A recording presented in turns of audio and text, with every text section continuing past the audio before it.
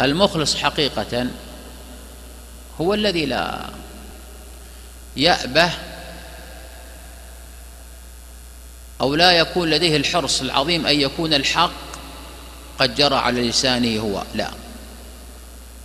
وإنما المخلص حقيقة هو الذي يريد أن يظهر الحق سواء كان عن طريقه أو لم يكن. لكن إن وفق فصار الحق عن طريقه فلا شك أن هذا خير له. ولكن لتكن الهمة والهدف والقصد أن يكون هو إظهار الحق لا انتصار النفس.